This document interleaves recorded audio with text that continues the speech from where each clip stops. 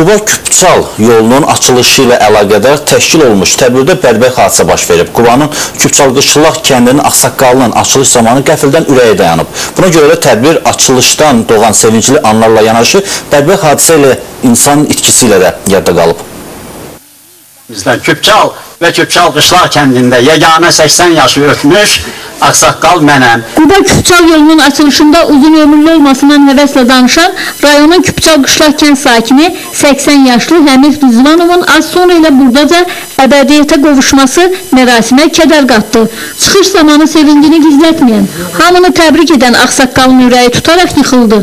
Rayonun baş həkimi tibbi yardım göstərməyə çalışsa da onun həyatını xilas etmək mümkün olmadı. Yeni yoldan keçmək bu Aksaqqala qismət olmasa da yerli sakinlər artıq əvvəlki əziyyətlərə qatlaşmalı olmayacaq.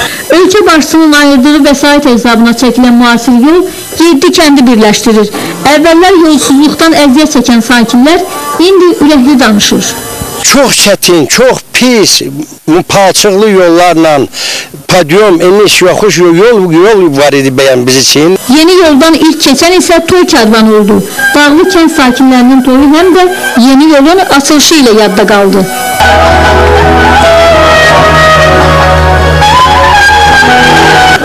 Sizlər çoxdur. Xoşbəxtçilik. Təzə ailə quranlara xüsusi hədiyyə də təqdim edildikdən sonra maşın kərvanı yoldan keçdi. Rayon rəsmiləri digər bərbad yolların da yenidən qurulması istiqamətində işlərin aparıldığını bildirdilər.